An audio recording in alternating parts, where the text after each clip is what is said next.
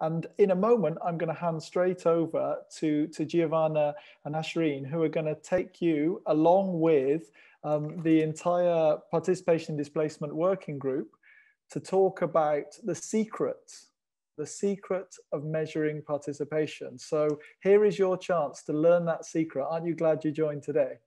So without further ado, I will hand over to Giovanna, I think, to take us forward. Thanks, Giovanna. Uh, thanks, Charlie, and thanks everybody for uh, joining us today. So the first part of uh, the session will focus on uh, measuring participation. So during uh, 2020, the working group members uh, identified monitoring and evaluation of uh, participatory process or participatory activities as one of the areas of uh, improvement. And uh, also they highlighted the need to have more uh, guidance and tools to guide us in measuring participation.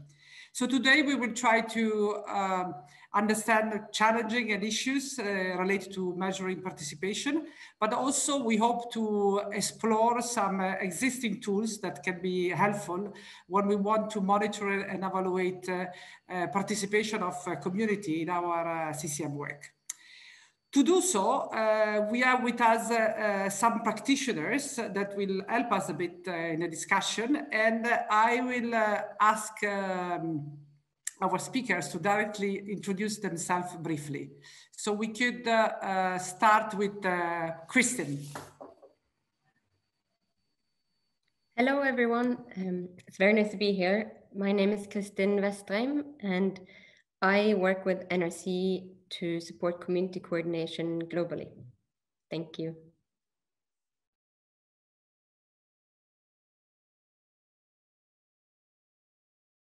Michelle? Hi, everybody. Um, I'm Michelle Farrington. I'm the Public Health Promotion and Community Engagement Lead for Oxfam, sitting in the Global Humanitarian Team. So I work within our, our WASH team, um, but also we have a strong focus on community engagement. That Ellie? Hi, everybody. Thanks for having me today. My name is Ellie Goldney, and I'm working with uh, ACTED Syria as the CCCM Technical Coordinator. And Julia? Hello, everyone. I'm Julia. I am an M&E specialist supporting IOM HQ uh, in the Women's Participation Project. It's a pleasure to be here with you all. So thanks a lot, Christine, uh, Michelle, Ellie, and uh, Julia. Um, as you know, I mean, uh, please feel free. Actually, we encourage you to use the chat uh, throughout the session if you have uh, questions, uh, if you have comments, and if you have, uh, you know, any any input.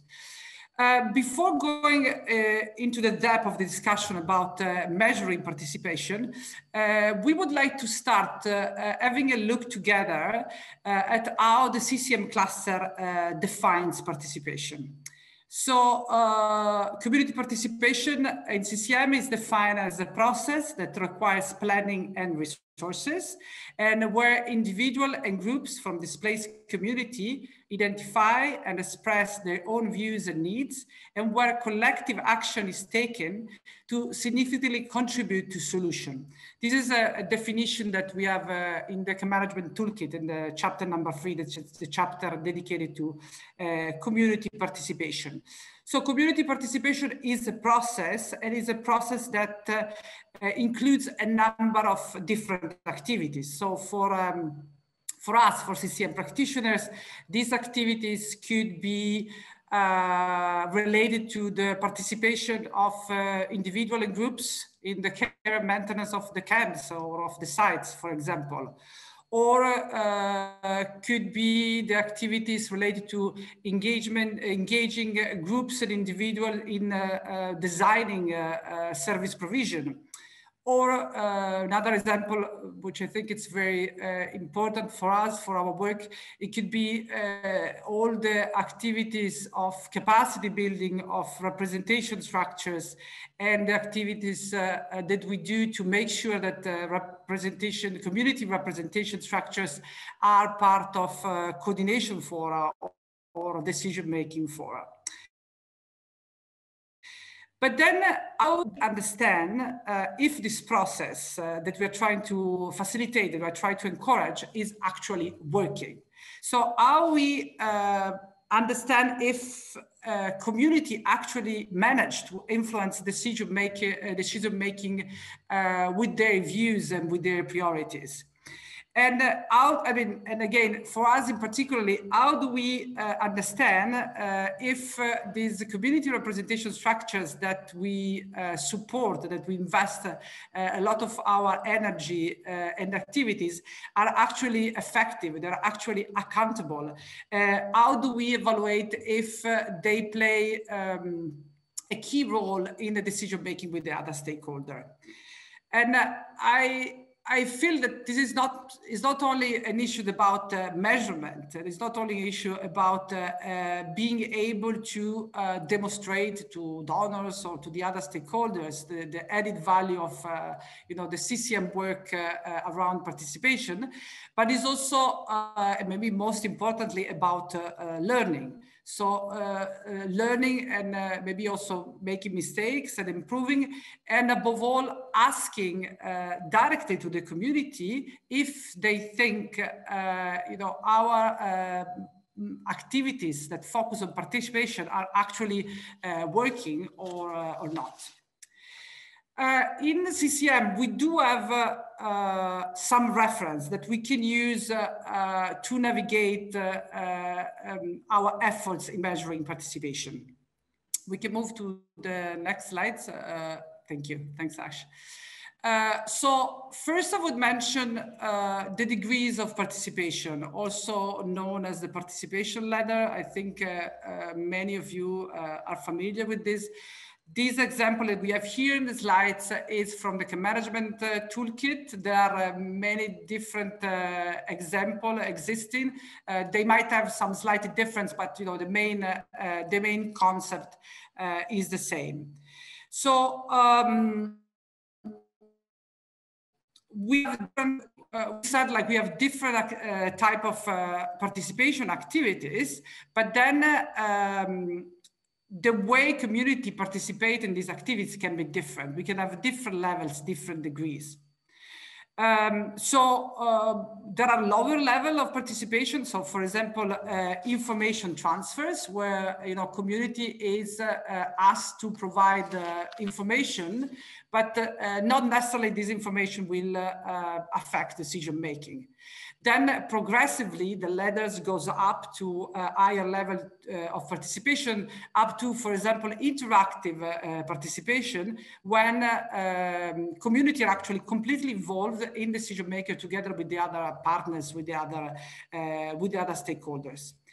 Uh, this, of course, it's a, it's a generalization, but could be useful uh, to evaluate uh, where we really are in terms of participation. So often uh, happens that uh, humanitarian practitioner they you know they talk and talk about uh, about participation, but then if we really look uh, uh, closer. Um, often, I mean, uh, of course, not always, we engage at the lower level uh, uh, of this participation ladder, for example, information transfer or, or consultation. Um, it's a bit less common that uh, we manage uh, to uh, reach a higher level of participation where we really engage community in decision making. Um, then another reference that uh, uh, it is important for us to navigate, uh, you know, the complexity of measuring participation for the CCM practitioner are for sure the CCM standards. So yesterday we just mentioned the beginning, we had um, a very good session that uh, clearly uh, outlines uh, uh the importance uh, of the CCM standards for different aspects of our work. And then for sure also uh, regarding community participation and measuring participation. One of the pillar of the minimum standards, it's around community participation and representation, but then the um, aspect of um, engagement of community, it's mainstream in, in all these different uh, standards. So the minimum standard for management uh, offers a, a, framework, a structures, offers of course also indicators that can be very helpful uh, when we want to uh, monitor, when we want to evaluate uh, uh, our participatory activities. Um, we can move to the next slide, Ash, thanks. So we we said that uh, you know particip measuring participation is complex. There are different uh, type of activities. There are different aspects, different degrees, uh, different components that we might want to evaluate, and sometimes it's very complicated to evaluate all of them. So uh, as a first step, we might want to um, identify what exactly we want to measure. Uh, we could, for example, measure who participate or who did participate and how effective was uh, their participation. Uh, we uh, might want to evaluate if uh, uh, the individual and groups that represent the community are actually uh, um, truly representing of all the different groups in the camp population. Uh, we might want to know if uh, uh, the marginalized group has been involved in the participatory process or activities. Or we, want, or we might uh, want to know if uh, uh, um, which level of, which degrees of participation we have reached through our activities. For some of these uh, uh, questions, we might need to have uh, quantitative data, but uh, very often we might need to have uh, qualitative data, uh, which we know that um, sometimes are more complex to collect. So we are going to keep exploring this key aspect about measuring participation with our speakers. But before doing that, uh, I want just to uh, have a moment to reflect on uh, our challenge in measuring participation. So um, I'm going to ask Christine to help us with this uh, in a few seconds. Uh, but in the meantime, uh, I really encourage to um, share with us in the chat what do you think it's for you based on your I mean daily experience what is for you the main challenge uh, in uh, uh, why when you are asked to measure participation. So uh, Kristen, uh, um, she introduced herself before. She's uh, the project manager for the Community Coordination Toolbox in the last 18, uh, 18 months, I would say 18 years, but it's a bit too much. In the last 18 months, uh, she's been in close contact with CCM practitioners uh, in trying to support them in um, uh, yeah, in uh, engaging uh, with community in different aspects. So, uh, Kristen, from your uh, yeah, daily contact with uh, CCM practitioner working with the community in the field, what do you think are the main challenge around measuring participation? And, and also, Kristen, if you can highlight um, if there are tools within the community coordination toolbox that actually can be useful in this effort. Okay, um, Giovanna, I will try. Thank you. um, um, so one of the challenges that um, that was highlighted during the um, the research that we did last year on engaging the community during a pandemic, it was that uh, the agencies that work in the same location they very often they have very different goals and objectives when it comes to community engagement or community participation so they define community participation very differently um, like you like giovanna was referring to the different um, uh, degrees of participation the different stages of the ladder um, some agencies that that i talked to they um, the, their goal was to uh, when it comes to community participation was to deliver a certain amount of bulk SMS um, with um, uh, COVID information. While other agencies, their community engagement goal was to um, have a certain amount of consultations with the different community groups uh, on um, uh, on their needs in, in the community and the COVID response, while others again in the same location um, would uh, uh, um, have as a goal, you know, how how the consultations actually inputted to and uh, changed or designed the, the COVID response. So it's very different uh, from the different agencies. And I think that until we have a harmonized um, goal or objectives or the definition of community participation, although there is one in the in the camp management toolkit, it's not used similarly between different agencies.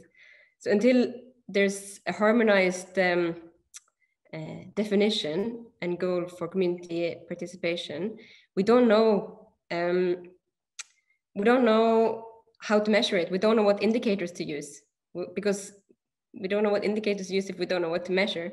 And are we supposed to measure quantitative um, uh, participation, like how many consultations, number of meetings, how many SMS have been sent out, or qualitatively, how aware are the the community members of the complaints and feedback mechanism, or have they actually been listened to and have the the consultation fed into designing the response? So that's one challenge, and um, another challenge that um, has been raised by many when it comes to um, measuring participation is um, that this is not a priority from their donors. So it this creates two different kind of sets of challenges in a way. One is prior to the program design. So uh, there's a lack of time and resources to measure any baseline, any community participation baseline.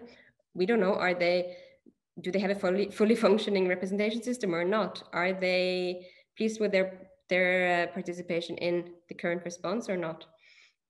And also um, to actually uh, engage the community in designing the response, the program that uh, we are looking to implement. And then also related to funding um, is that there's a lack of resources for um, engaging the community during the response, uh, which takes time. As we all know, we need to spend a lot of time with the community members to gain their trust and, and to really figure out what they, uh, how they want to participate, etc. And, uh, and to measure their participation levels. Um, specifically when it comes to qualitative participation, so um, how familiar are they with the CRMs the how is their input being used? Are their priorities considered? Are they happy with the um, the beneficiary selection criteria etc um, it's not because it's not quantifiable it uh, may not be included in in your log frame um, um, we do have some tools in the community coordination toolbox um, which is an online repository of tools that um, we collected last year. It's um, NRC's tools for how to engage the community members in in uh, planning and and designing um, the humanitarian response. I think maybe uh, Ashreen can can post a link in in the chat to this uh, toolbox. One tool for measuring the participation of um, the of the community members in general. And um, this can be used as a baseline and it can also be used uh, to measure any changes over time.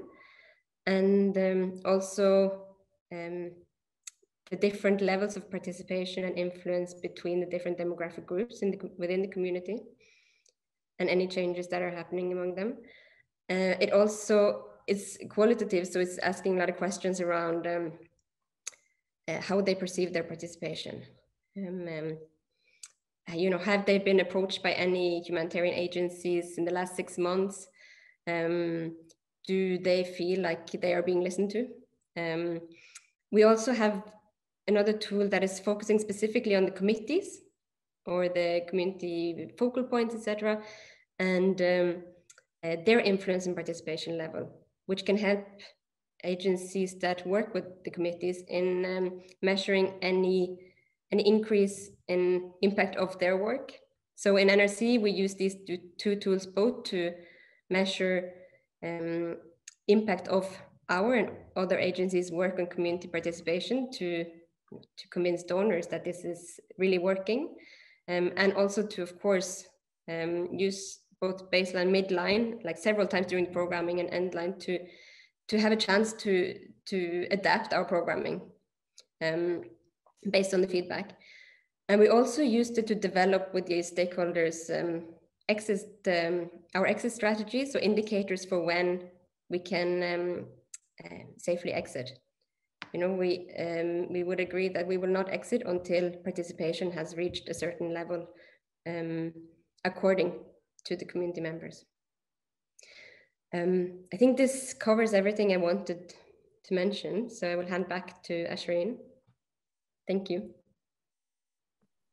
Thank you so much, Kristen, on sharing about the Community Coordination Toolbox. Before we go into our little panel interview that we've planned, um, I just wanted to mention that we will be sharing in the chat a link to a document that we prepared. Essentially, this document basically summarizes the tools that we intend to highlight and uh, speak about today. And also it highlights um, or mentions the uh, tools that Kristen uh, had mentioned before. It also has links to where you can access some of these tools or who you want to contact if you want more information about that. And I also wanted to mention, if you have any questions you would like to ask our panelists, please, please do write it in our chat at any point. Um, we will try and address all of your questions. And I wanted to thank you all for writing your challenges. I've been reading um, a lot of them about, you know, donors, the timeline to establish and how there's not enough time to, for example, do a baseline, the availability of tools, measuring the quality of participation, balancing between qualitative and quantitative, right? So I hope that we will be able to address all your concerns and some of these challenges that you've mentioned through our little uh, interview that we're about to have. Um, so to begin, I, I have a question for all our panelists, um, which is Michelle, Ellie, and Julia. Could you briefly describe the tools that we will be talking about and what ways these tools can be used to measure participation within CCCM? Uh, perhaps Michelle, you could start um, start off this question. Yeah, sure. Um, so I'll start just by giving a little bit of a background to the spider diagram tool uh, or spidergrams. Um, so I should say that I, I don't work in CCCM. Um, I work in WASH. Uh, so sorry if I every so often slip into saying WASH. Um, but hopefully the, the tool that I present, uh, you'll see that you could use it in lots of different sectors. Um, so essentially, um, hopefully you'll have seen a spider diagram before. So it, essentially it's a central point with then arms that come off and it looks very much like a spider's web. So on each of the arms, you can use to uh, allocate a number and then you join those numbers together to give a, a web kind of shape, which can um, can tell you areas where you're doing better and areas where you're not doing so well, dependent on how much of the segment is um, is shaded in. So we've utilized that tool within our WASH programming. Um, essentially, we've used it as a voting exercise, but really the most important part of it is the discussion that happens around it. So we set up um, different uh, groups called listening groups, um, and those groups are um, representative of different sections within a community. So you may have one group of older men, you might have a group of adolescent girls, you might have a group of women who are mothers, etc. So you try to kind of set up different groups that represent different elements within the community that you're working with. Um, and with each of those groups, we had discussions about our WASH programming. So we asked them the things that people liked, that they didn't like, etc. had those discussions. And then we did a voting exercise around different elements of the WASH response. So each leg of the, the spider diagram um, was a different element of our WASH programming. Um, and each member of the group would vote on how well they thought that element was going. So five being with they thought we were doing a fantastic job, zero being we were doing an absolutely terrible job. And then we'd have a discussion around the average of those votes. So where satisfaction was very low, we discussed the reasons why, uh, but we also discussed what the group would like Oxfam to do about that. So were there specific pieces of feedback that they wanted us to act on? But we also asked, what, what is it that you can also do? So what are the things that can happen within the community that could also increase that satisfaction there? So we would do those discussions every kind of two to three months but we'd also still be meeting with that group in the meantime. And, and the reason for that is that we wanted to have um, kind of iterative meetings with the same groups of people so that we could discuss changes over time. We could give them an update about um, how we changed based on the feedback that they'd given us, and they could also share with us anything new that was coming up for them. So after a period of around two or three months, we'd go back to doing the spider diagram exercise and we'd look at how the scores had changed. And hopefully the area that we'd highlighted as being the priority previously, where we'd had lower scores, hopefully we'd see an increase in that. But if not, mm-hmm. we'd kind of have that discussion as, as to why. Um, and if that had increased, but another section perhaps had decreased, again, we'd have those discussions and, and we'd, um, we'd change what we were doing based on that. So a lot of the feedback that we had coming from those groups is that people appreciated that way of doing it because they could see the changes that were made based on their input and their feedback. And they could also see that it wasn't only Oxfam's responsibility to change the scores, to increase the scores, that it had to be a joint effort between both the community and Oxfam's WASH team. So when we um, when we checked in with people, that, that was what they liked. They liked being able to see the changes um, um, in, in kind of um, improvements over time. Um, and, and maybe just with that as well, to, to highlight that within that, we were measuring participation not only through how the scores changed in terms of people's satisfaction, but we were also, um, the, the qualitative aspect of the discussions was also the very important part of helping us hmm. uh, change our programming um, and making sure that we were kind of doing things differently in response to the feedback that we were getting. So in terms of how you could utilize that tool for CCCM. I mean, it's very easy to swap out the, the kind of uh, the legs of the, the diagram for being um, topics that matter to you or matter to the communities that you're working with. So an initial discussion might be, what do we want those different arms of the diagram to represent? You know, are they are they going to look at coordination? Are they going to look at services? Are they going to look at different aspects? Um, and setting those together and then measuring them over time together could be a good way of increasing participation, but also having that, that regular space to be able to have those discussions is a good way as well of tracking over time what's changing um, and how communities are also involved in making those changes. Thanks, Michelle. I think that's really interesting, particularly on the spidergram and how I definitely think this could be adapted to CCCM, you know. Um, Ellie, I wanted to ask you particularly on the tool that ACTED has been using. Could you explain a bit more about that? Yeah, absolutely. I'd love to. Um, so the tool that is linked in the document that's been shared um, is a program tool. So it's implemented by, by our field teams uh, directly in the communities.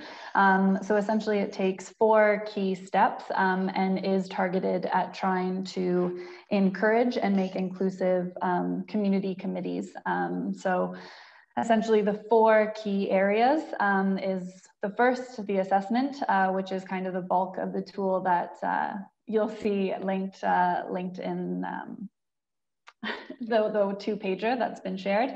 Um, so it takes quite a qualitative approach to asking questions to try to gain deeper understanding um, of a baseline of participation already active within the site, um, governance structures that already exist and, and, different influences, availability of complaint feedback mechanism and that two-way communication flow, um, and then similarly the inclusiveness of the committees already.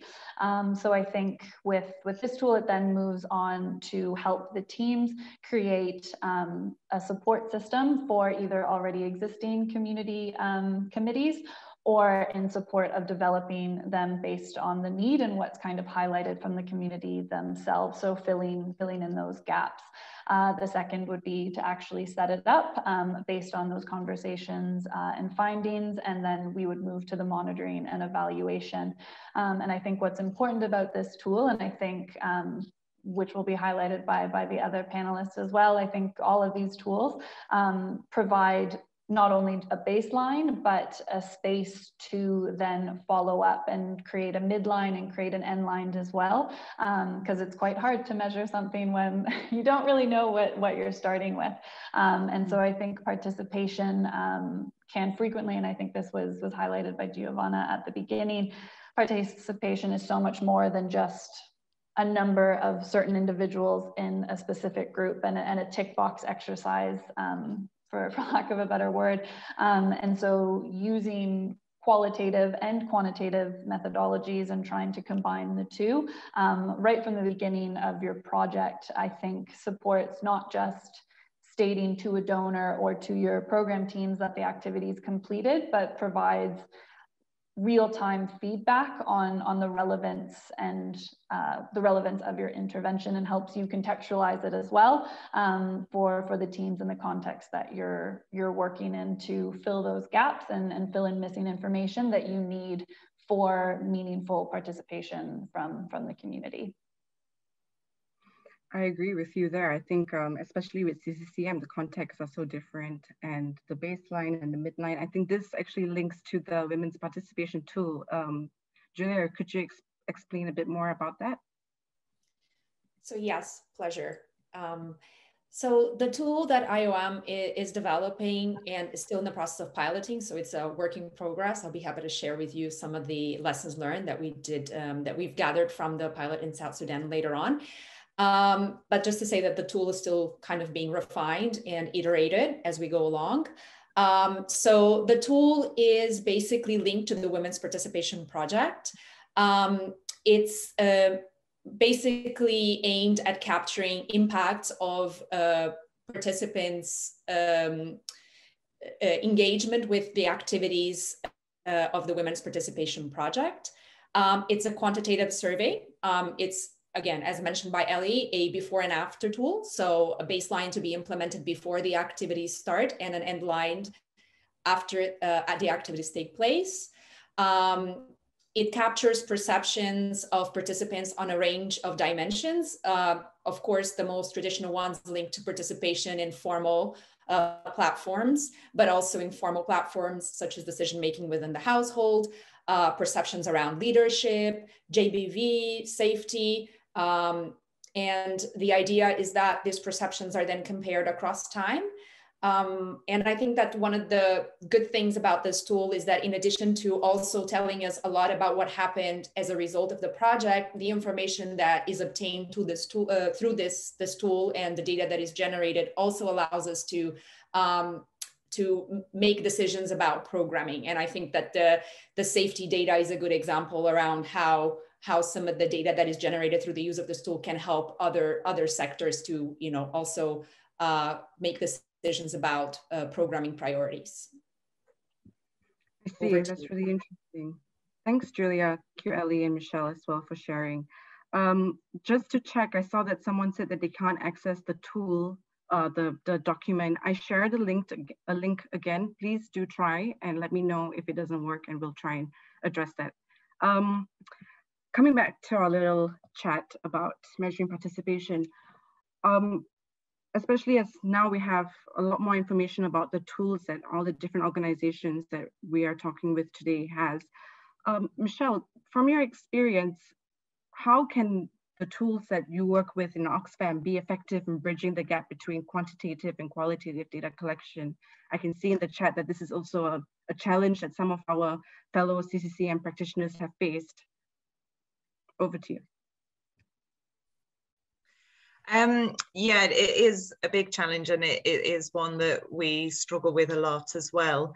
Um, and I think, you know, a lot of the a lot of the more important information is in the, the qualitative data and that is the part of the data that I think a lot of practitioners find harder to analyze Um, so there's a, much more of a reliance on qualitative or converting quantitative, uh, qualitative data rather into quantitative data in some form to be able to kind of um, to do an analysis. Um, mm-hmm. So I guess using a combination of methods is always a good way. So, you know, if we take, for example, the, the spidergrams, um, you quantified some aspects, but actually the, the majority of the information was still qualitative. Um, and then perhaps, you know, another tool that has been shared on the chat as well is our community perception tracker, which is gathering qualitative data, but then can be represented in, in quantitative forms such as graphs and, and changes over time, etc., in terms of people's perceptions. Um, so I do think there is there are ways that you can kind of quantify some aspects of qualitative data. Um, but I also think as well, um, it's around kind of investing in your teams and investing in your staff of being able to do that qualitative um, analysis very well. Um, so it does take longer, it does take time, but I think, you know, investing in MEAL teams to be able to do that better is, is the right way to go rather than sort of saying that, oh, we'll, we'll just shift everything into being more quantitative. Um, I think we need to have a, a broader investment in, in how we analyze qualitative data. Yeah, and this kind of links back to what Ellie mentioned as well about how a mixed methods approach is something that could be done to kind of bridge this gap. And I also see that um, our colleague Brian mentioned about, you know, perhaps mixing qualitative indicators with quantitative data. Would you agree with something like that as a mixed methods approach? Yeah, absolutely. Um, and I think that's the way that we've kind of been able to make it work so far um, in terms of how we've been kind of measuring the aspects that are difficult to quantify like participation. Um, I think as well there needs to be a bit more encouragement with donors as well to recognize that the um, you know the the devil is not in the numbers it's more in the detail of what we're hearing from people than than necessarily seeing a percentage go up or down um, mm -hmm. so perhaps that's a, another another way to kind of bridge that divide a bit more. Yeah, I, I think we all agree with you there for sure. um, Sorry, I, so just, I just saw that someone has asked what MEAL is um, for, for those that don't know the acronyms. So it's, it's mm. monitoring, evaluation, accountability and learning. So um, I know different organizations call it different things, but, but uh, monitoring and evaluation essentially. Thanks, Michelle. Right. So going to my next question, um, and I guess I want to ask Julia this. Um, does the tool, the women's participation tool that you spoke about, do you think this tool addresses the challenge of capturing qualitative data?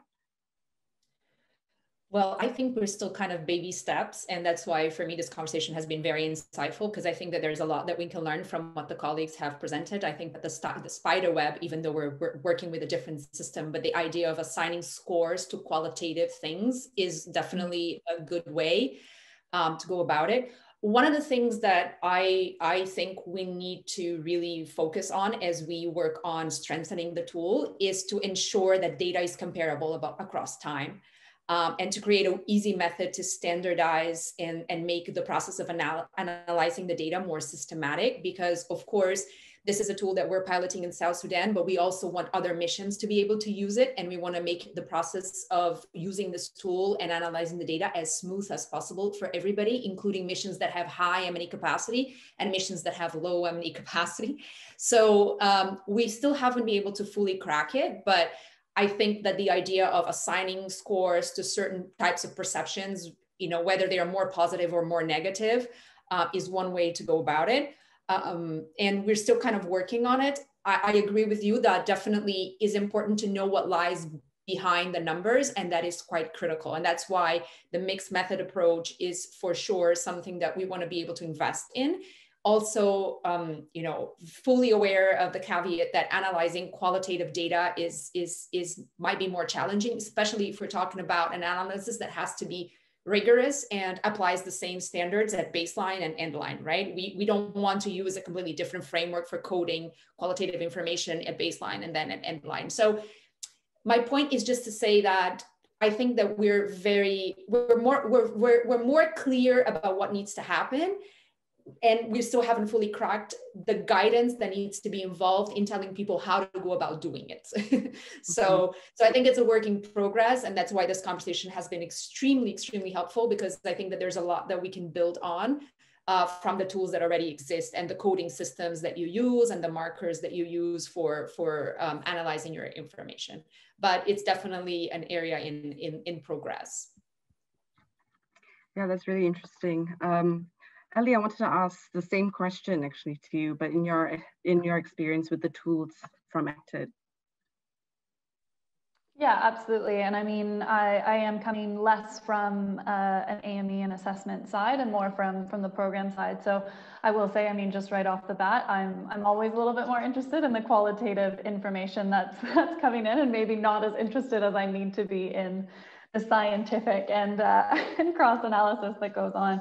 Um, but no, I think for me, this tool um, that we're, we're using, and I think we are trying to incorporate this, this qualitative data collection across not just only community committees, but in the other, other programs that we do, because obviously participation across these, these um, these units is important.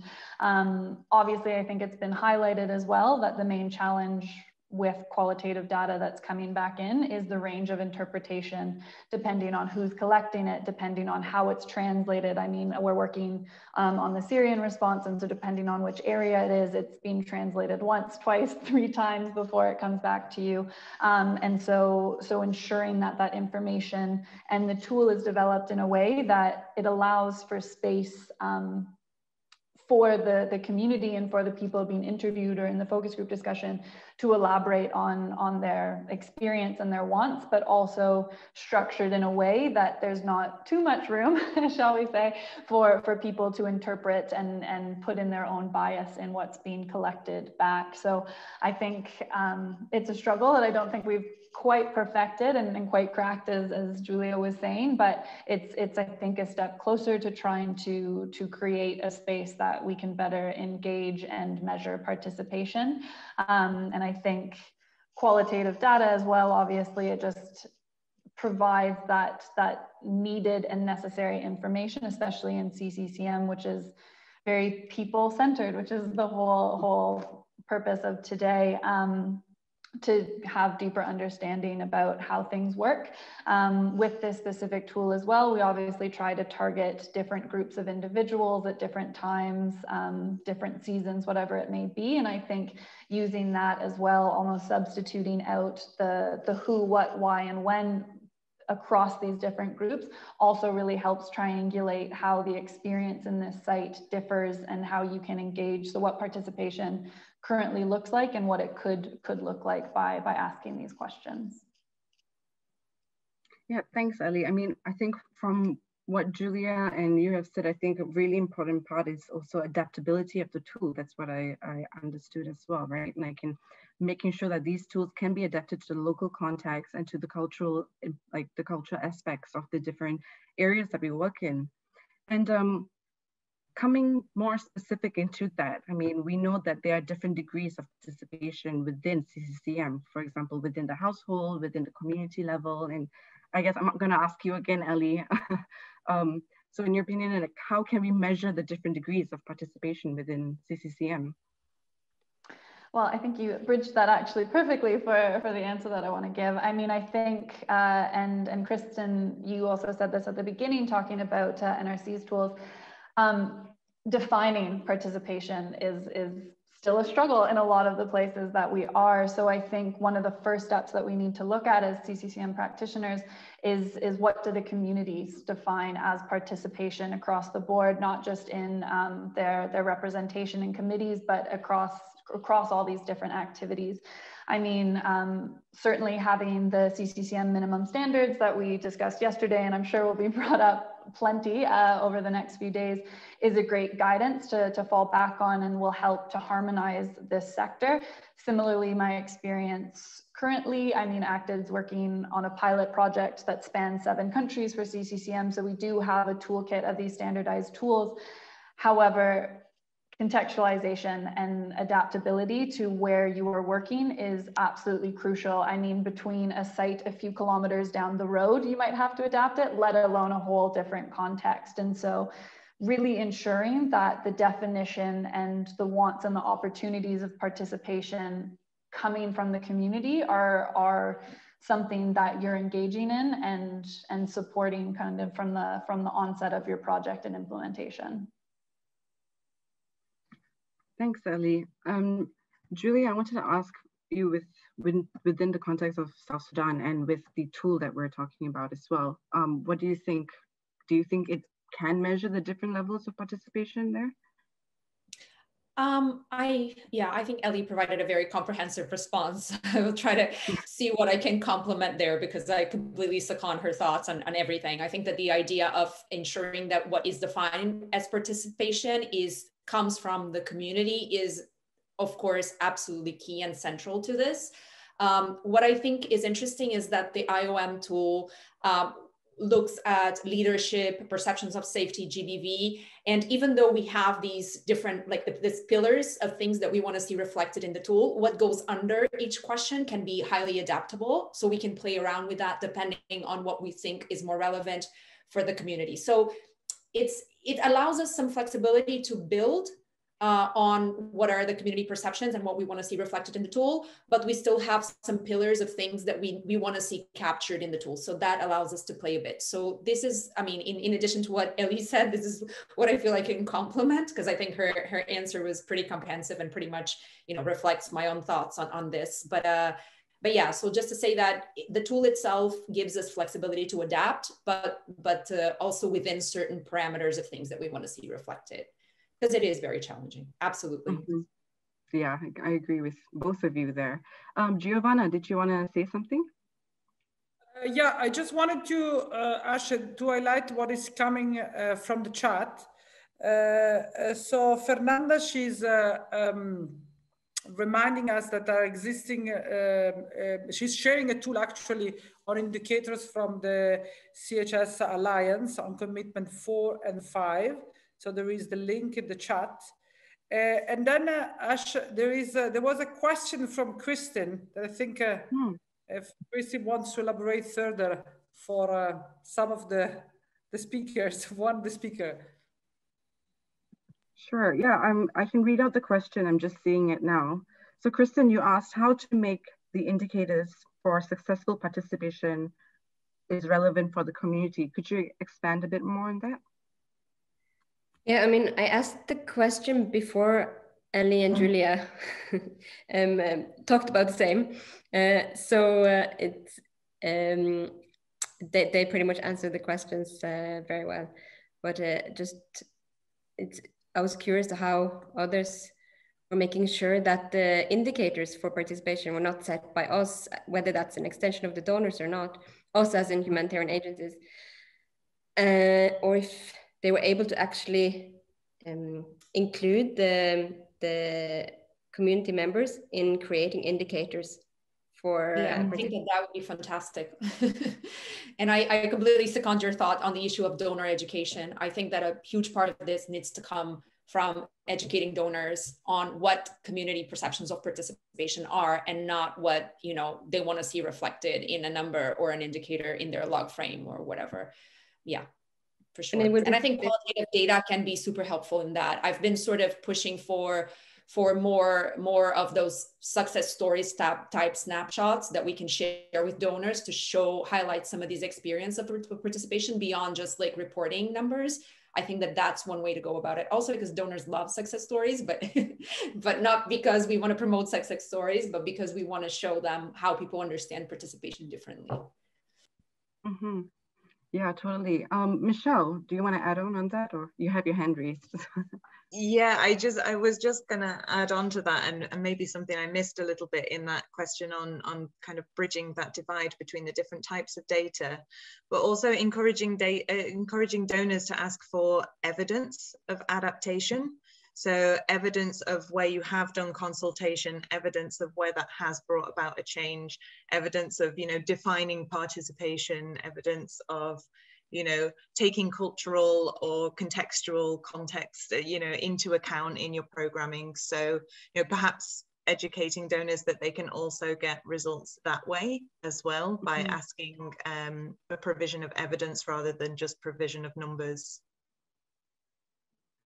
Yeah, sure. Thank you uh, for that. Um, I wanted to ask actually um, a question to Ellie, and I think this is kind of related to one of the questions put in the chat by Maxine, but this is more specifically on like groups at risk that we of course work with, for example, persons with disabilities. And in your experience, what are the specific considerations that we need to look into when measuring participation for these groups? And what are the kind of challenges you have faced for engaging or in making sure that persons with disabilities or other groups at risk uh, who are who may be excluded from you know data collection or CCCM activities what are the challenges you have faced in ensuring that they have been included and particularly for measuring participation? Yeah, absolutely. I mean, I think I'll probably speak more to the challenges at the, at the moment than, than rather the success stories, unfortunately. Um, I mean, with, within the Syrian response, a report has just recently come out that I believe it's over 80% of households in camp and camp-like settings have at least one family member that um, is considered to be a person with disabilities. However, when you compare that to the actual data set that is being collected uh, and registration of, of uh, these people in camps, um, it, it doesn't match.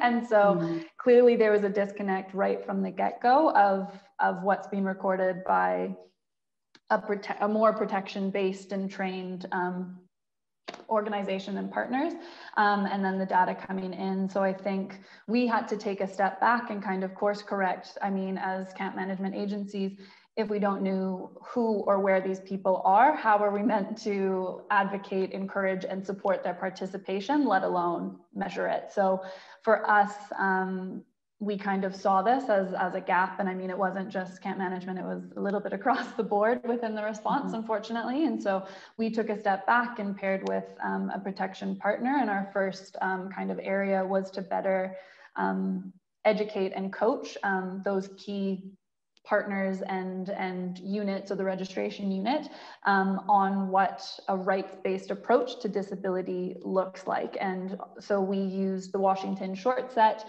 and kind of updated a lot of our short set of questions, sorry, um, and updated a lot of our registration um, and, and information gathering tools. And similarly did um, a little bit of re-education away from the medical terminology of disabilities um, and kind of emphasized and reinterpreted that an impairment is not just an impairment, but it's the barriers that block impairments in the site are actually where participation, that's where that gap is. And I think by doing this, it kind of was the first step to change the way that camp management agencies were, were engaging with these people. And so we were we're now in the process of kind of uh, correcting this process. Um, and I mean, I think it's something that needs time on. It kind of goes back to that conversation of, of donor engagement and, and how we how we advocate for these processes. But um, it was taking one step even back from just our measuring and assessment tools and just making sure that we were collecting the data to begin with and that we had the tools to, to do that. And now that that's done we can start looking forward in our in our second year of, of the program to better incorporate and in, ensure inclusion in our different activities Thanks, Ellie. And I like, I mean, I think this is um, a challenge that a lot of us face, um, ensuring that persons with disabilities are included in programming. This is something that I, I know from working with Women's Participation Project, is something that we've also encountered in terms of, our, you know, tools and ensuring to adapt. I like that you mentioned that, you know, you working with specialized organizations to ensure that, you know, that your tools are actually applicable to this. I think that's something that's really important because, for example, we're, we're all not um, expertise in this, but we need to ensure that we are including the people. This includes local organizations as well that have these expertise and that can advise us on how to best approach it, right? I just wanted to expand a bit more on one of our conversations that we had. I, I think you mentioned that you had used the community coordination toolbox in your context, Ellie, um, in Syria. And I just wanted to ask, has the, you know, what was your experience using the toolbox, um, the, the NRC toolbox that Kristen mentioned and um, particularly as, you know, um, you have mentioned that in Syria, you have had to adapt to a remote and mobile approach. Uh, so I just wanted to hear your thoughts on that. Yeah, absolutely. Um, so we had the pleasure of actually sending one of our, our staff to participate in the in the TOT that was done a few months ago. So that was wonderful to have that resource um, in-house afterwards. Um, and so I think, I mean, as you mentioned, um, there's quite a mix of, of methodologies being used in this response particularly. So we have remote, we have static, we have mobile, we have semi-static. You add on top of that, that COVID um, has been taking place and adds another layer of remoteness. You add on top of that, that CCCM is a relatively new sector, even though the response in Syria has been going on for quite a while. And so um, kind of understanding and expertise on the ground uh, are, are, might not be where they are in other responses. Um, and so I can't say that we've used the whole toolbox, but having that online resource that's already translated that has these guidance notes was an incredible and still remains an incredible resource to kind of fall back on and use as a roadmap with um, often teams and project managers that are in different locations, different time zones, speaking different languages. Um, so it's just an incredible resource. I highly encourage anybody that has not gone to check it out to, to take a look. Um, I think my personal uh, favorite tool was definitely the social and cultural influence analysis. I think it highlights a lot of what we have been, Kristen's heart. Yeah, I, I mean, I think it highlights a lot of what we've discussed here today. And I mean, the use of qualitative data and also looking at those more vulnerable or maybe excluded groups um, and not just looking at their vulnerabilities, but looking at what the value that they do bring and that they already bring to the community, I think is so fantastic and really highlighting that value um, of how they can participate and how they really already are participating, but just formalizing that process. Um, so yeah, no, it's been a it's been an absolutely invaluable resource. so thank you. That's great to hear. I'm sure Kristen and Giovanna are really happy to hear those that as well. Kind of, I guess, related to that, um, I saw that in the chat we have a question from Maxine, um, which was about how do you build on lessons learned and maintain a consistent people-centered approach amidst the changing project objectives? And I wanted to kind of throw this question out with our panelists. Um, do any of you have any ideas or would like to respond to this question? No? um, maybe, maybe I could, I, oh, sorry, maybe I could start. I think I think a lot of it is around maintaining dialogue with different groups in your community. So I have building up trust to have that two-way feedback happening on a regular basis. Um, and also building up that trust as well that when there is a change, when there is new feedback coming up, that there will be a difference in in how you adapt your project and, and your programming as well. So you know if that's if that's how you're kind of approaching communities to start with then hopefully that should encourage more feedback more consultation etc and you should have a more adaptable program going forward. Um, but i think it all boils down to you know making sure you have those regular opportunities to have open dialogue with um, with the communities that you're working with and different groups within those communities that are kind of open agenda so not going into those thinking oh well, we need to find out this this and this but you know having that as a more open agenda and taking more time to listen to what communities are saying rather than being directive about what you want to hear mm-hmm. Yeah, thanks, Michelle. And on that point as well, I think it relates back to what we were talking about earlier about, you know, having this baseline and midline and endline surveys because that really helps in informing the programming and you're actually involving the community as well. And while talking about that, I do want to highlight that the Women's Participation Toolkit, which is available on the Women Displacement platform, if you sign up, you can access the tools there where, you know, the tools for the baseline and the endline are similar because that is an easier way to measure the impact that we have or the consultations through the through the consultations with the communities as well.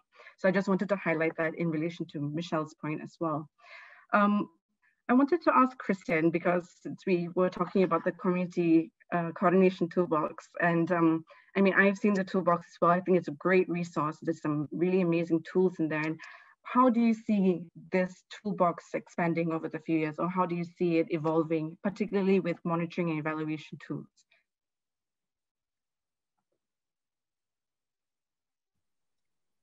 Uh, thanks. Um, we um, we will be.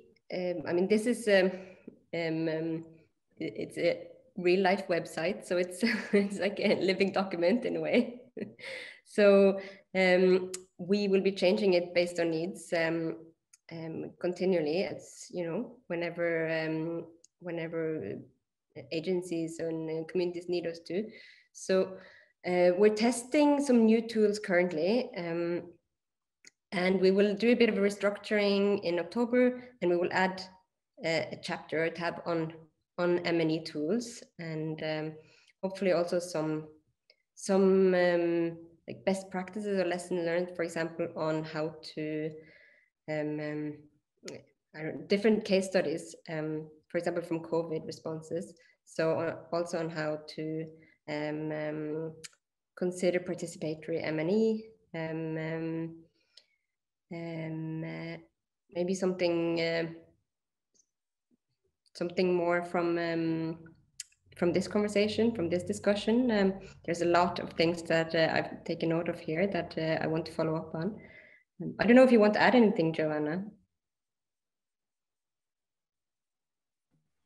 Uh, no, I think uh, today, as you mentioned, there is a lot of uh, yeah, a lot of inspiration, and it's also uh, good to see how um, practitioners, you know, working in different contexts, in different uh, agency, maybe even in different sectors, you know, some challenges, some issues remain the same, but also how we develop, you know, different tools and strategy to try to overcome.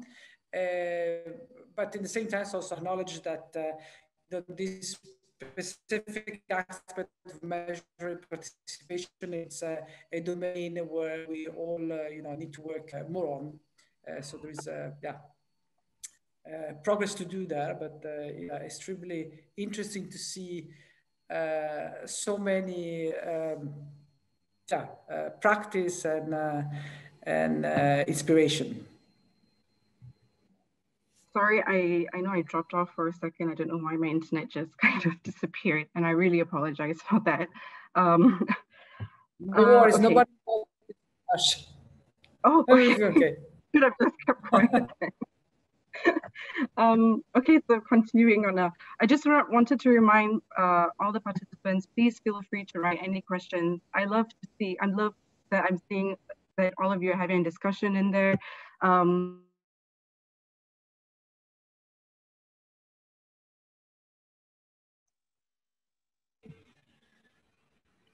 I think Ash, it's yeah, again. Looks like the big freeze, Giovanna. I think you might need to jump yeah. in here and carry on. Yeah, no worries. Uh, Amarachi, because in the meantime, my my chat got blocked, so I cannot see anymore the chat. Do we have any questions from the uh, from the participant?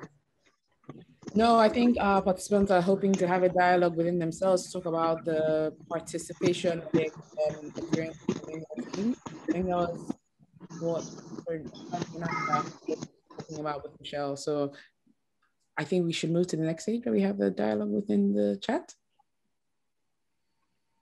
Hi, can you guys hear me? Sorry, I dropped again. We're just uh, checking, uh, uh, you know, how it's, if there were any questions for the speakers from the chat. Yeah, I was actually talking about that when I dropped. I was just saying that I love that I'm seeing uh, some dynamic conversations going on right now, and that's really great.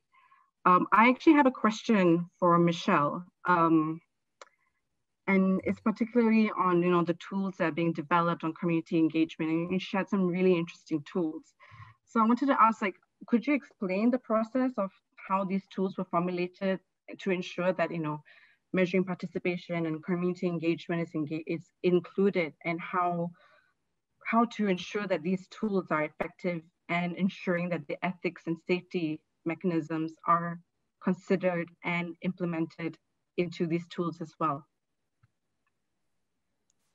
Yeah, I think I think it goes a lot back to what uh, the other panelists were saying around contextualizing um, the different tools. So where we have built up tools in the past and, and we have used kind of different approaches work for different responses.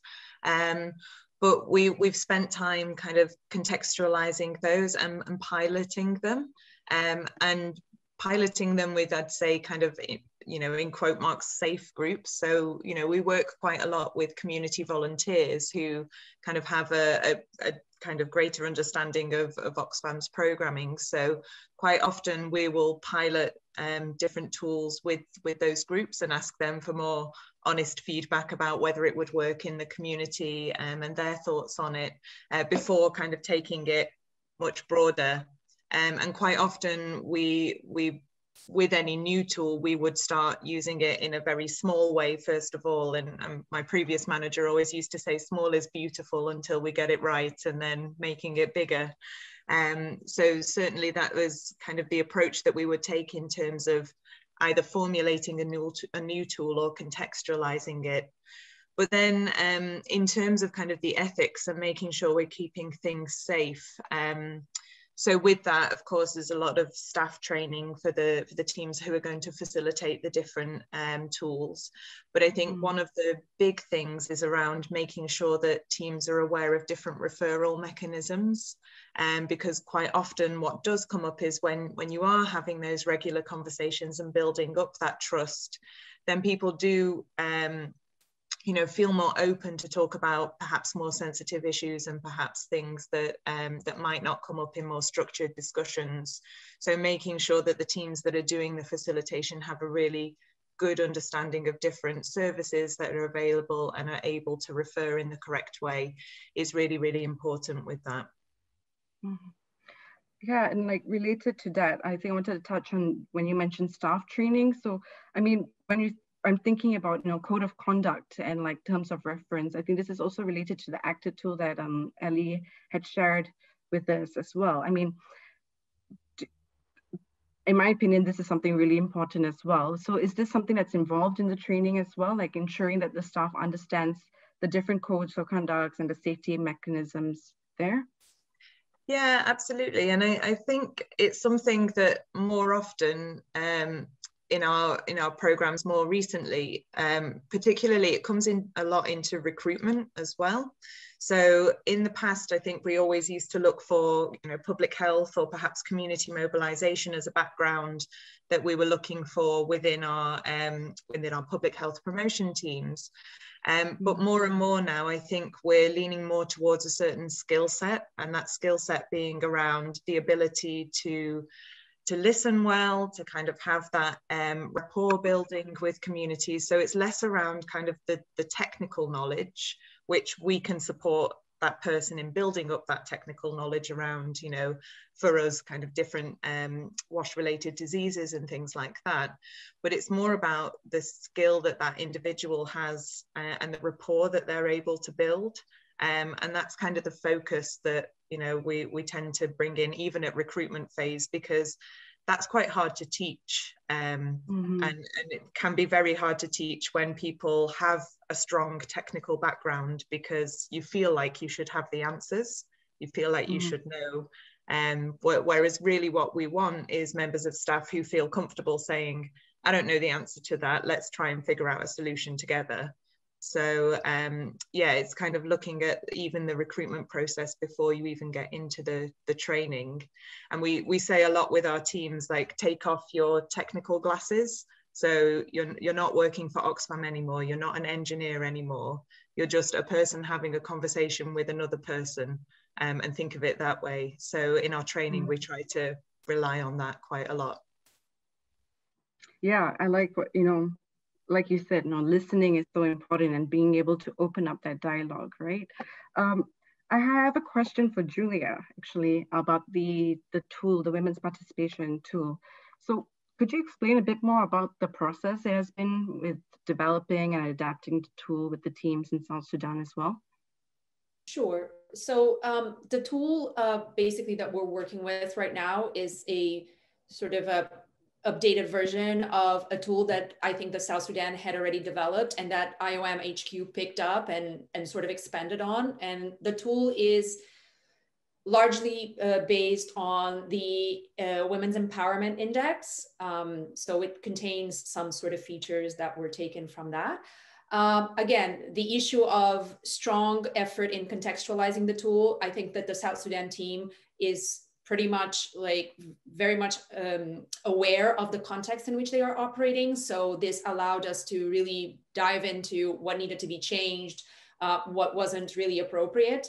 Um, and then the baseline, which we did a couple of months ago, also provided us with a good amount of lessons learned uh, because as Michelle mentioned, like the enumerators and the people that are actually applying the tool then came, came back with a lot of very good information uh, in terms of mm. how some of the questions really weren't understood, how some of the questions were not really, you know, taken as appropriate uh, by, by the respondents. I mean, they felt a bit culturally insensitive even but uh but um so these are you know good feedback that of course uh we will definitely incorporate in the next iteration of the tool. And thinking about the the point that michelle said about small is is is good. Small is beautiful. I don't i don't remember exactly what was the adjective that she used but something along those lines what we're considering doing now uh, for the end line is to split the group and have one mm. group responding to the same version of the questionnaire just to give us a bit of like uh, information for us to be able to compare.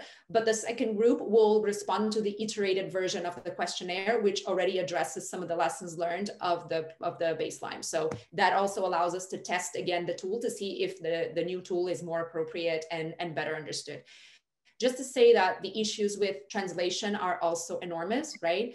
Um, mm-hmm. and in interpretation of the tool as well. Um, where South Sudan is a context where we're working with people with very low schooling and literacy levels. So that idea that answers have to fit into the answer options that we give is also an alien concept um, in contexts where people are used to talking and not necessarily saying, well, yes, no, not applicable, I don't know. Um, so this is also something that we're working on improving to making sure that whenever we give them answer options, they best capture what it is that they are trying to say in a kind of mm. long narrative answer. Uh, but yeah, I think that the issue of contextualization is really important. And then the issue of training of enumerators, absolutely. We cannot forget that we're talking to a group of 30 women. So of course, that might be disclosures of sensitive information.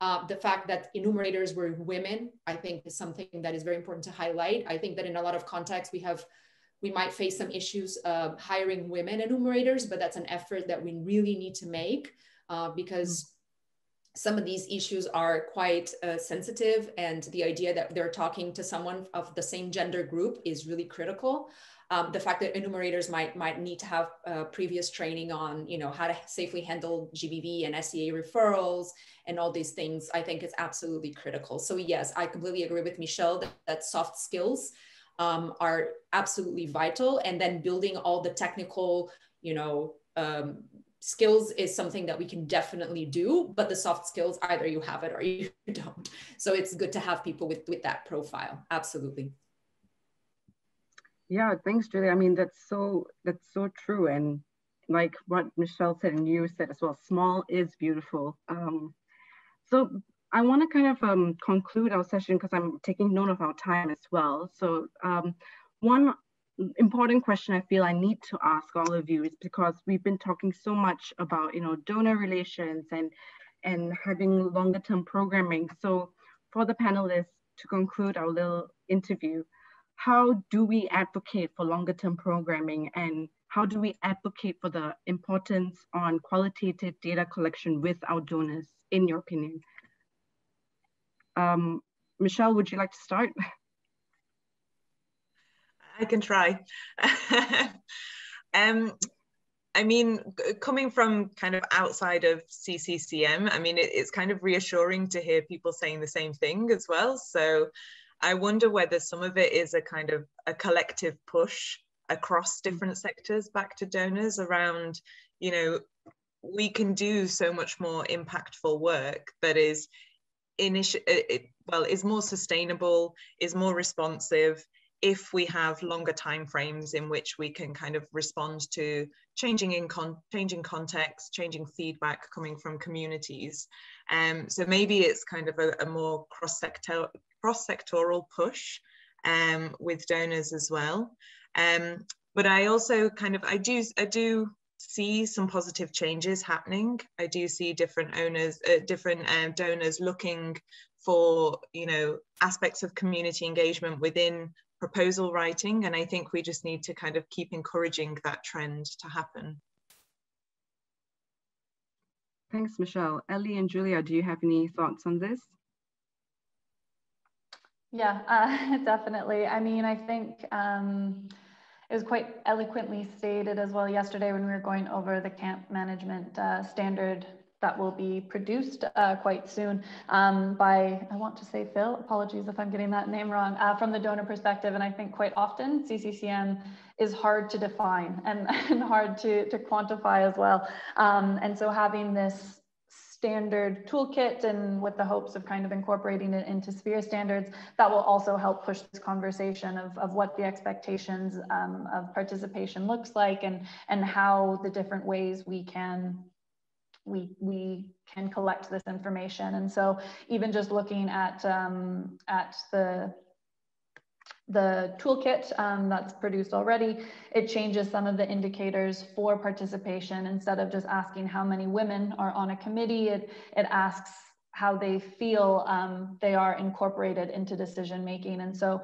making that switch in these formal documents, I think is obviously going to, to help with that. I think using key examples from a few donors that are doing longer term projects. Again, I know I've mentioned it earlier, but uh, with, with ECHO, we're doing a three year pilot project. And so it gives us that opportunity to take lessons learned, not just across our own countries that we're working in from year to year, but across a number of different countries. And so looking at the example of persons with disabilities that I brought up before, I mean, being able to recognize that missing piece and then course correct our subsequent tools afterwards, it's going to take time. A year, even six months is, is not going to be enough to, to do that. And so I think participation and therefore how we measure it must it has to go beyond just a voice. Um, and it's that ladder that we talked about, you know, moving from passive to actually, um, why can't I, uh, participant.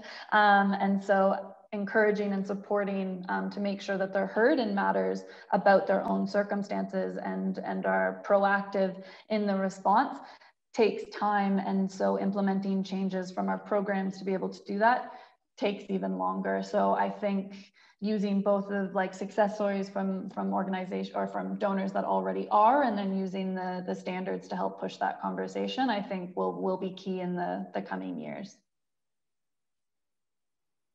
Thanks Ellie. Yeah um julia do you do you want to input anything for this question? Yeah, uh, just one one final thought, and this is from a very M&E perspective. I think that the reason why we do M&E basically is to learn, right? We're not doing this to ace everything and tell our donors how we did a fantastic job, even though, of course, we want to do a fantastic job.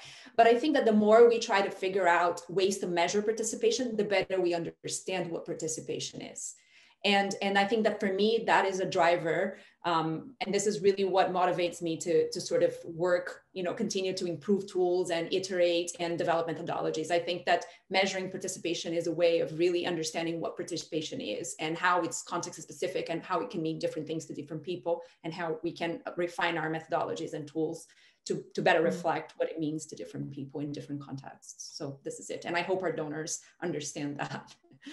That's it yeah, thanks, Julie. I mean, I also want to kind of touch on what Michelle said in the point of, you know, a cross-sectorial advocacy and, you know, how we need to work together. And I, I think, I think today's conversation really shows how important that is because I mean, not all of us are from CCCM. We have WASH actors such as Michelle. We have Julia, who's an M&E expert, and we have Ellie, who's worked in CCCM. And hearing that we all have similar challenges and ways of advocating for longer term programming together, it's it's really um, inspiring to hear in, in the sense of, you know, I think these are ways forward that we can work together to ensure that we can measure participation in a more effective way. Um, so as we are kind of going into our closing time, I'm gonna say a few closing remarks. First of all, I want to thank the panelists so much for agreeing to join us today and for sharing your expertise. It's been a wonderful conversation that we've had. As we've heard today, you know, participatory methods to evaluations and measuring participations shows that the degree of ownership by the com community ultimately contributes to greater transparency in programming and in ensuring accountability to the affected populations. And we can see that measuring participation and participatory approaches to M&E has several benefits, such as identifying more locally relevant evaluation methods or questions, building the capacity, sustaining organizational learning and growth, and a very important part is developing the local capacities within the community. And from our discussion today, I think there are three main takeaways I would really like to highlight. First of all is how we need to do more donor education and advocacy there for longer term programming and for the importance of qualitative data.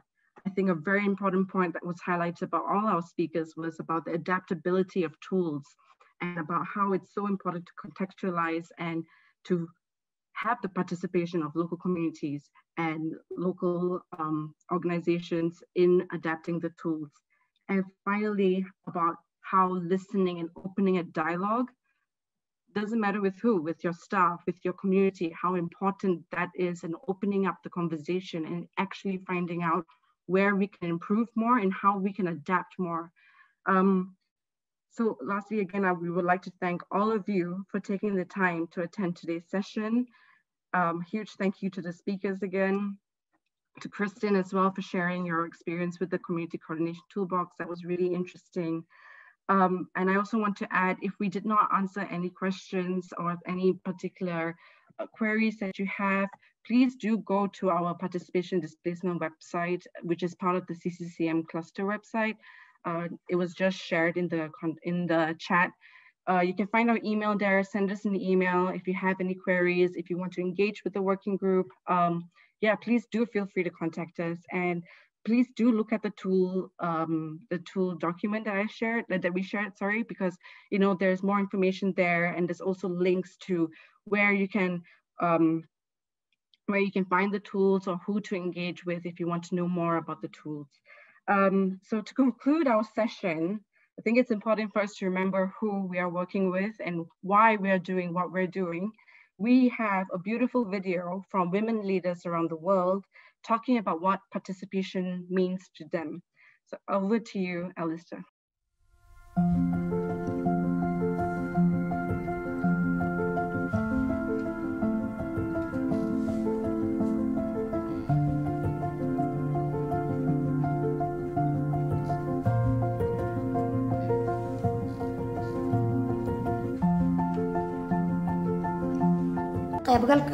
wuxuu muhiim u yahay waxaan ka bartay wacyigelinta bulshada noocyadeeda kala duwan kufsiga fayadhowrka nadaafadda iyo kala sikashada covid nineteen.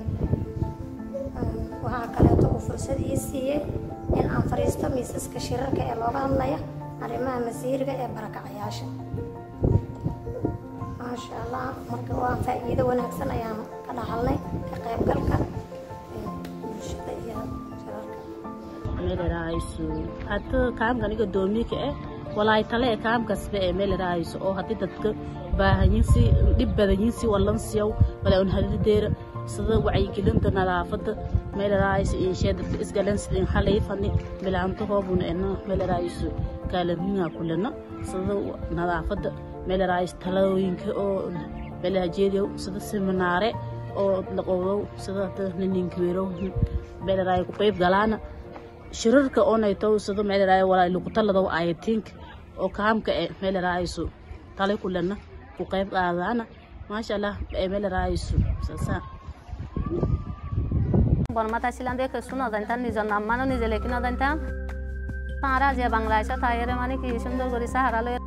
আরা রাজি আসাম আসবে যেন তাঁরার মানে কি অমিন কমিটির বলে হয়ে trading দিয়ে আরা এখন নিজের নাম মান আরা নিজে রেখে জানি রাখন আরা তো আগে মানে কি সাইন দেওয়া হইতো সুরাতে গেল গে সুরাতে গেল সাইন দেওয়া হইতো ঠিক দেওয়া হইতো, আরা তিয়া ঠিক দেওয়া না করে আরা এখন নিজে বাজা, আরা দস্তক দিবারি। তাহারা দি ফাইরানোর পরে হন আর ঘরে তো কুয়াশা আছে দেই, তারা আরা শিখাই পাইছি। এই জিবি গলি হয়ে অনলাইন করি, ওরে জিবি করে দেই, ইবাইও জানি, ইবো মানে কি মায়া মান ধরে শিয়াই দি এখন আগে ডর লাগি তো গত ননেলিতাম এলে শান্তি দিয়া মাঝে মিটিংত আয়া এখন ইম্মত আগে হয় এখন শাহ হজবারি গিয়ে এখন আর case নলাগে My contribution is to teach women what is right and wrong. I go from house to house to sensitize them on environmental hygiene, personal hygiene, such as washing the hands of their children before and after eating, wash their clothes and bathing them.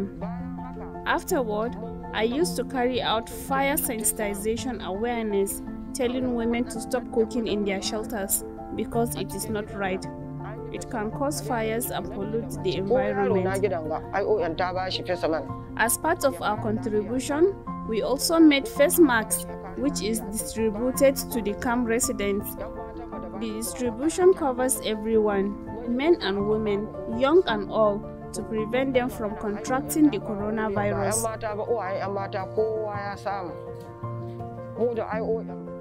In addition, we also carried out awareness on self-care against coronavirus, educating women and children on the dangers of the virus. People living with disability, they are now included in their activities. As IOM has provided them with sewing machine, which they propel, and they are now doing their business. Now, whenever there is any distribution, they are the first to be considered before any other person. This includes distribution of food tokens.